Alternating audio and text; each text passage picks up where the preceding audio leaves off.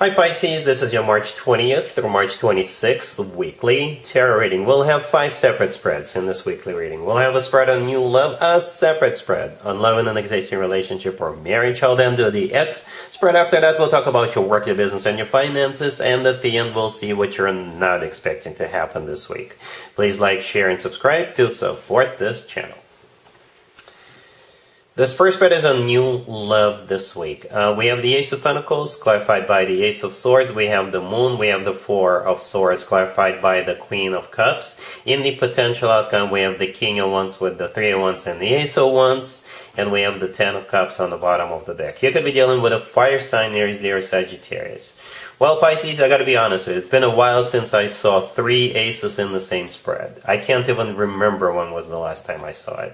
What this is talking about is this person um, is gonna come towards you, and for some of you, it's gonna be shocking and even overwhelming because they're they're coming in, and uh, this person knows exactly what they want, and uh, the offer is legit. The offer is serious. All right, this person is not uh, wasting any time. They're not going to be beating around the bush or playing around. No. When they do start talking to you, they'll be talking to you commitment. Commitment. If this is a brand new person, second or third date, commitment. right? Uh, yeah, we got two aces in the beginning the Ace of Pentacles and the Ace of Swords clarifying it. The Ace of Pentacles uh, is the uh, the real deal. You know, the Ace of Pentacles always comes from somebody who is ready to settle down, ready to start a family, ready to get serious. And uh, that's exactly what they're going to be talking to you about with the Ace of Swords. The Ace of Swords is a card of somebody who is very decisive, very straightforward, very honest, and this person is not fooling around. They're not kidding. No, they're not kidding. The Ace of Swords is a card of a new beginning. That's what they want with you, and that's what they're going to be very honest to you about. And I think it's going to shock you. Even though I, I don't see uh, the um, Tower card that would usually indicate a shock, but uh, I see you taking a little bit of break to uh, wrap your head around what just happened to process this. You're gonna be like, whoa, whoa, whoa, hold, hold your horses, slow down right? Um, the you're in this reading twice, right? The Moon and the Four of Swords, the two following cards, and the Queen of Cups. All those three cards are, are you, right? The Moon is your major arcana card. That's you, and uh, uh, the Queen of Cups, that's also you. And I think that's you in the Four of Swords, taking a bit of a break to process what just happened. Okay, so that makes me assume that it's going to be a little bit shocking. Well, for some of you, not a little bit but it's going to be shocking, overwhelming that you're going to be like, oh, oh, whoa, whoa, whoa. You know, I was just uh, minding my own business. um, yeah. But uh, in the potential outcome, we have the King of Wands with the Three of Wands and the Ace of Wands, right? Uh, you're actually dealing with that King of Wands. Uh, so it could be a fire sign, Aries, Leo, Sagittarius, or somebody with a lot of fire in their chart. If they're not a fire sign, they're embracing the energy of the fire sign this week. Somebody who is very discernment, very passionate, very fiery, right? It's like uh, with the Three of Wands in the middle, they made up their mind, they made a final decision, and after that, there is no turning back, at least when it comes to this person's perception, right? The Ace of Wands right next to the deck, this is again them wanting to get the show on the road with you as quickly as possible. Third Ace, right there. And uh, there's a hint about how this could potentially go. We have the Ten of Cups on the bottom of the deck, right there, all the way to your right. It's a card of a family. It's a card of a commitment, marriage. Uh, this card is often referred to as the uh, happily ever after card. It's the best card when it comes to emotionally fulfilling relationships or marriages. So, yeah, take your time, think about it. I think you will. but, uh, yeah, if you want this, this person is just anxious to uh, move forward with you. Perhaps the two of you can have a conversation, and uh, perhaps this person is going to come off a bit too too strong, right? Hence all these aces, right? Um, but uh, I think the only reason is because they are in love with you. They're. It's like when they saw it, when you when the, when they saw you, they knew you're the one, and that's why they're just they just don't want to wait, you know, and and uh, yeah. All right. I'm not even going to bother with an extended for you, uh, Pisces. Right. This looks awesome. Think about it. Take your time. Um, but uh, in case you're wondering what this person's full and true intentions are, yes, the the offer is legit. They really do want to move forward with you. They really do want to get serious with you. All right, really happy for you. Congratulations. Pisces, if you are already married or if you're in a relationship, this spread is for you. We have the Three of Cups, the Queen of Swords, the Six of Cups, and the Seven of Cups on the bottom of the deck. You could be dealing with an air sign, Gemini, Libra, or Aquarius. For whatever reason, this is what's going to be uh, a highlight or of of an importance for you. Uh, this week. For those of you who are married or uh, in a relationship, this Queen of Swords is going to show back up. Okay, um, it could be your relative, it could be somebody you used to hang out with, you used to work with, you used to be friends with, and uh, they want to catch up with you. All right, there is a one small red flag here. Uh, the Seven of Cups on the bottom of the deck, it could be a card of uh, over intoxication. All right, so be careful as to how much you guys uh, consume, how how much of the adult beverages you guys uh, consume. All right. Perhaps you have to go the. You have to go to work the following day. All right. So yeah, but I think you're gonna be happy to see this person. So yeah, the Queen of Swords is the person showing back up. Could be an air sign, Gemini, Libra, Aquarius. The Six of Cups right next to the deck is a soulmate card, but it's also a card of somebody coming back from the past. Right? The Three of Cups, the first card that came out, is a card of a reunion or a card of a celebration, or both. Perhaps you're reuniting and you're celebrating this reunion. So yeah.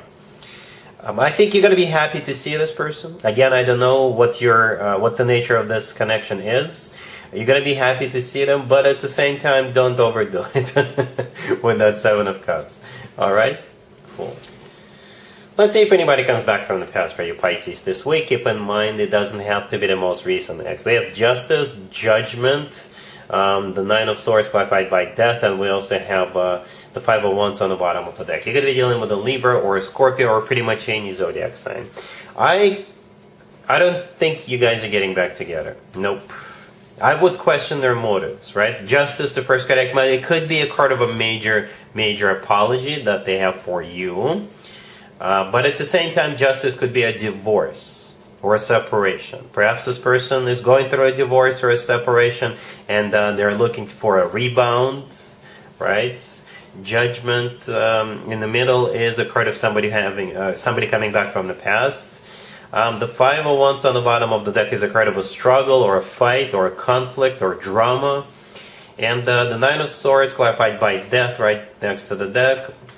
Um, uh, since those two cards showed up last, then I don't see, I see nothing for you here, Pisces. I, I, just don't. Quite the opposite. The Nine of Swords is a is a card of somebody who is stressed out, somebody who's got depression, anxiety, somebody who is somebody whose feelings are all wired up, you know.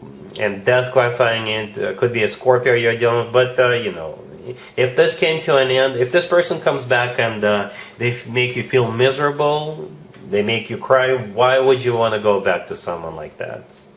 You know, why would you ever even consider? So send them back to the past where they belong. Let's talk about your work, your business, and your finances, Pisces. This week we have the Three of Pentacles, uh, the Five of Wands, we have the Hierophant, the Moon, and uh, the the Nine of Pentacles on the bottom of the deck. You could be dealing with a Taurus. I think people are fighting for your full and undivided attention here, or people fighting for you, right? Um, here's the deal, right? I believe you're in this reading twice. First of all, the moon right next to the deck is your major arcana card.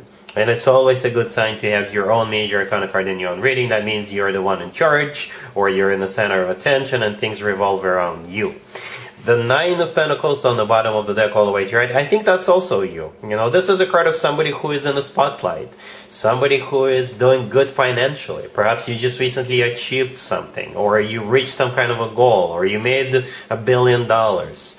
I don't know. And now everybody wants your attention. Everybody wants to pick your brain or everybody wants to hire you. I don't know. Or everybody wants you to consult for them right? Speaking of consultant, the Three of Pentacles, the first card that came out, is a card of collaboration, right? And uh, this card sometimes does come through as a consulting, right? Because you see, there's three people in the Three of Pentacles, right? There is two people kind of standing, uh, standing on the right, and uh, there's one other person standing on the left. The person standing on the left is a little bit above the other two. So that often comes through as a card of consulting, teaching people, things like that.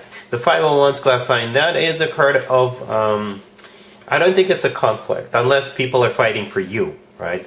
But uh, yeah, people want your attention, right? Perhaps um, you are a puzzle person. People come to you and asking for an advice, asking you to help them out to solve some kind of an issue. Or again, perhaps people want you to go somewhere to some kind of a conference, right?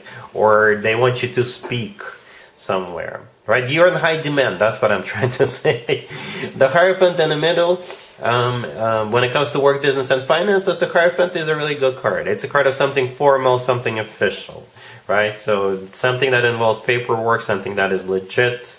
It could be a card of education. Again, you could be teaching people, right? This is a great spread. All right, cool. Let's see what you're not expecting to happen, uh, Pisces, this week. We have uh, the King of Pentacles, clarified by the Six of Cups. We have the Tower. We have uh, the High Priestess. And uh, we also have the Knight of Swords on the bottom of the deck. You can be dealing with an Earth sign, Taurus, Virgo, or Capricorn, or an Air sign, Gemini, Libra, or Aquarius. What you're not expecting is this King of Pentacles showing back up. This is somebody you already know, right? The King of Pentacles could be an Earth sign, Taurus, Virgo, or Capricorn, or somebody with a lot of Earth in their chart, or they could be somebody who deals with money or business right? And the Six of Cups clarifying the King of Pentacles, yeah, you already know them. For some of you, it's your ex. For others of you, it could just be somebody from your past, right? It doesn't have to be an ex. It doesn't have to be about love either. We have the Tower, the next card over. In this case, the Tower is something that happens unexpectedly, right? Hence the name of the spread. um, the Knight of Swords on the bottom of the deck.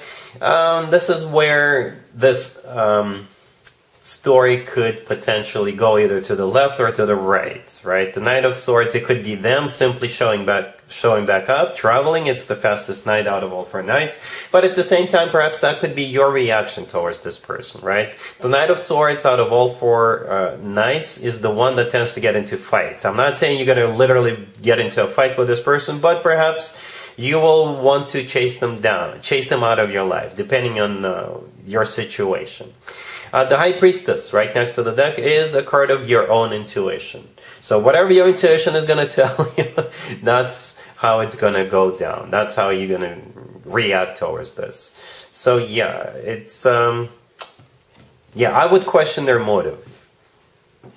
Pisces. I would question their motive. Why all of a sudden they're showing up?